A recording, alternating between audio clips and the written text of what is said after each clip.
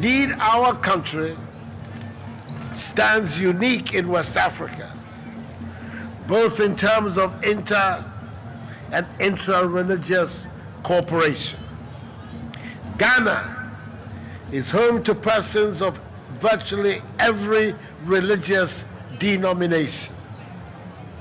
They all go about their religious practices without hindrance. We ought to guard this tradition of religious cooperation and tolerance jealously.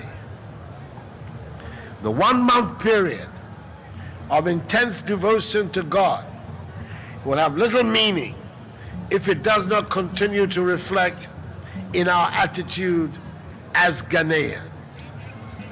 The Prophet Muhammad is reported to have urged Muslims who are provoked in the month of Ramadan to say, and I quote, we are fasting, unquote. I believe that this response to provocation, which engenders peace in Muslim communities during Ramadan, should be cultivated as an everyday response to provocation. Quote, a Muslim is the brother, sister of another Muslim so says the Prophet of Islam.